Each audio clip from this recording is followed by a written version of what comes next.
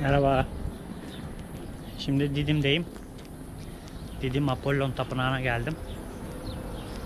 Sizlere Apollon Tapınağı'nı göstereceğim. İçerisinde ufak bir yürüyüş turu yapacağız. Sanırım duyulmadı. Tapınağın içerisinde ufak bir yürüyüş yürüyüş turu yapacağız.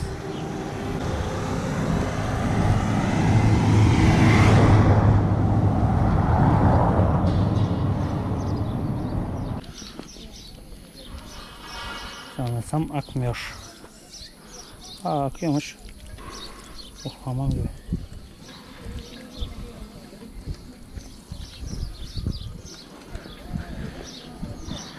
Bozacı bu arkadaşlar. Eskiden olurdu bunlar. Sırtında boza satıyor.